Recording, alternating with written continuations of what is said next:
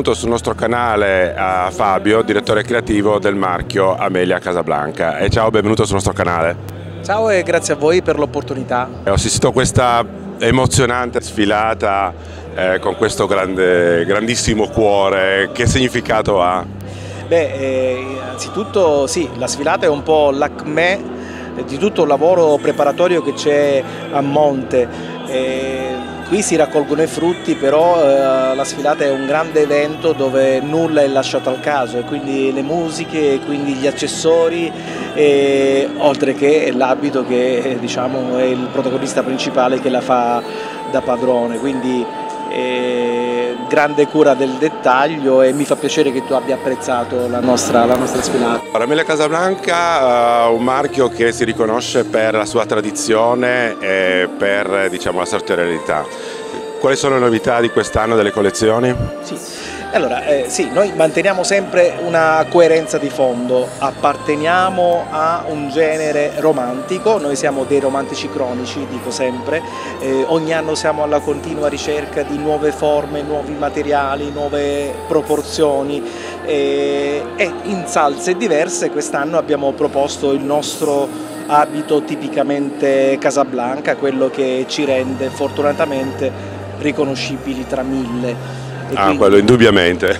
E quindi spazio ai, ai pizzi francesi, eh, spazio al ricamo sartoriale delle nostre sarte, delle sapienti mani delle nostre sarte che conservano una tradizione eh, sartoriale veramente invidiabilissima, che in tanti ci invidiano. E eh, questo fa un mix che rende un diciamo, la nostra collezione è veramente molto appetibile nel panorama della moda sposa di riferimento per il segmento della, eh, ecco, del settore principesco. Eh, infatti, quindi il sogno classico di una sposa di diventare principessa. Esatto, malgrado diciamo, i momenti contingenti che stiamo vivendo, che sono quelli dell'emergenza pandemica, ma purtroppo anche quelli diciamo, del conflitto che si sta verificando in Ucraina, diciamo, la sposa conserva ancora il desiderio di, ecco, della componente del sogno che ruota intorno a, alla, alla scelta dell'abito da sposa. Noi lavoriamo per questo, per cercare di contribuire a creare il sogno affinché il sogno non svanisca, anzi tutt'altro. Ah, sicuramente. Allora, parlavi di tessuti, quindi quali tessuti hai utilizzato in questa collezione? Tantissime organze, tante pure sete e, e poi il pizzo, il pizzo francese, eh, che andiamo a cercare direttamente in una regione della Francia che tradizionalmente è quella più legata alla produzione. Lì ci sono dei telai del Settecento eh, e le, le, le, mani... Che ancora resistono. Ancora, che ancora resistono.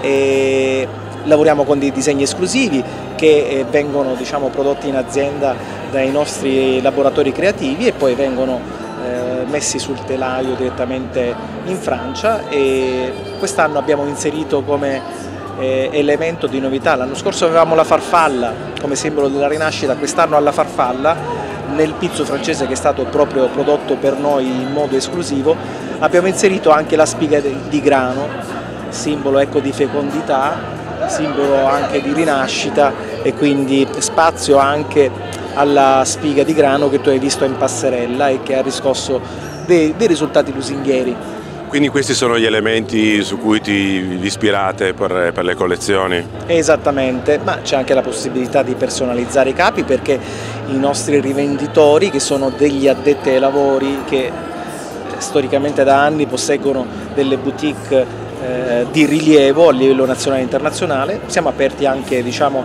alla loro contaminazione, di conseguenza è possibile apportare tutte le modifiche del caso, siamo, siamo eh, pronti ad accoglierle e a recepirle.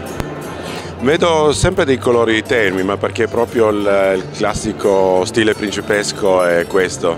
Sì, è vero, è vero, il bianco, il bianco seta la fanno da padrone, anche se diciamo, c'è anche qualche digressione che va sul, sul lavorio, sul miele, eh, comincia a prendere piede un po' il colore, e, e fermo restando che certamente il bianco seta è ancora il colore dominante per la sposa romantica, per la sposa casablanca. Che consiglio possiamo dare a una futura sposa che deve scegliere un abito e a questo pensiero principesco?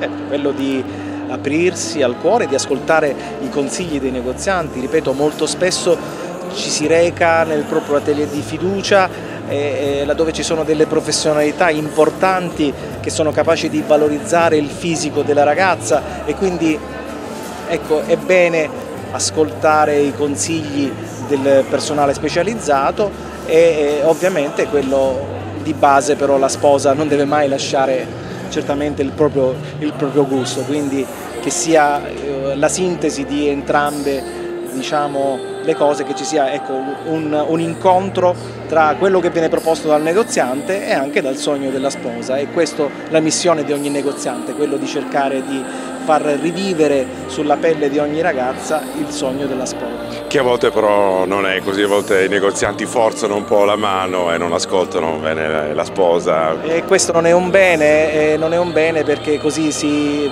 snaturerebbe diciamo, il modo di essere di ogni ragazza, quindi ehm, consigliamo sempre ai nostri negozianti di tenere sempre eh, un occhio di riguardo per eh, i gusti di cui sono portatrici le spose.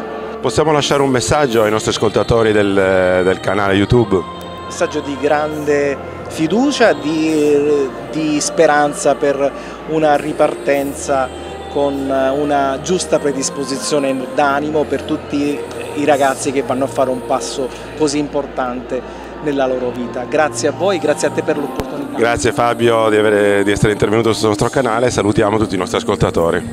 Ciao a tutti.